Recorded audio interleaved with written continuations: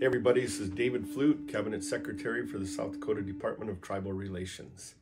For this week's Buffalo Nation News, I'd like to share just a courtesy reminder of our agency's mission and what we do and what we do not do.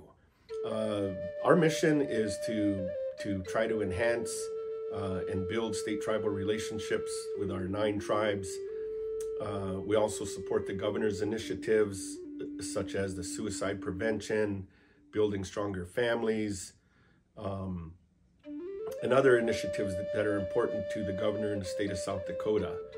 Uh, what we do not do at the Department of Tribal Relations is we do not speak for tribes.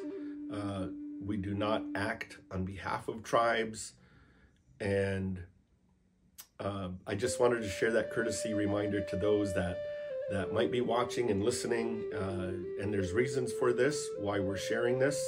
But again, more importantly, it's just a reminder to those that are watching, uh, especially those in Indian country, those that are elected to tribal government, tribal members that maybe do not recognize this office or understand what this office does.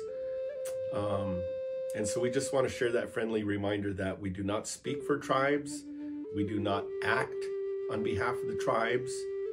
Um, and those are exclusive rights of, of tribal leaders. I know that uh, being a former tribal chairman, um, which makes it even more important that I share this that this office, my position and my staff, we, we would never act or speak on behalf of any tribe. That is the that is the role and the responsibility of tribal leaders, especially the tribal chairman and tribal presidents. So, um, just want to share that courtesy message, and please feel free to reach out to our office at any time. Uh, please visit our website. Um, we also have a YouTube channel, the Buffalo Nation News, and um, just want to share that much.